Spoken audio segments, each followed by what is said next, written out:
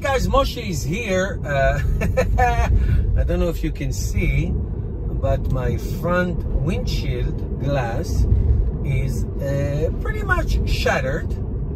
Uh, I was driving down the street before and some kind of a pebble hit it and smashed it really good.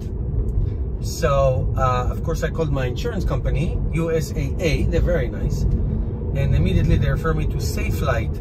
Now I'm doing this video to give you good advice. They, they refer me to Safelite, which is a wonderful company. I used them before in my older cars. Uh, however, Safelite told me that they will replace the window, no problem, the, the windshield, no problem, but then I'll have to take it back to Tesla to recalibrate the cameras. You know, there's a camera on the top of the window uh, uh, in the front of almost every Tesla.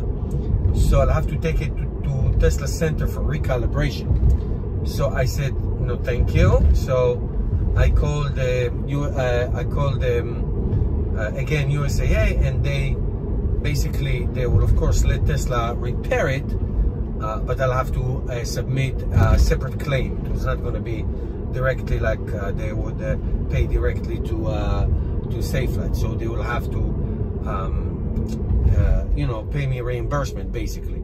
So uh, I'm doing this to let you know that if you have an issue like this, I suggest that you take your uh, your repair to Tesla so you don't get your camera out of whack damage and you have to go twice to uh, do the same repair.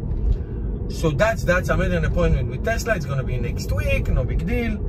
Uh, and then I'll let you know how much the damage was.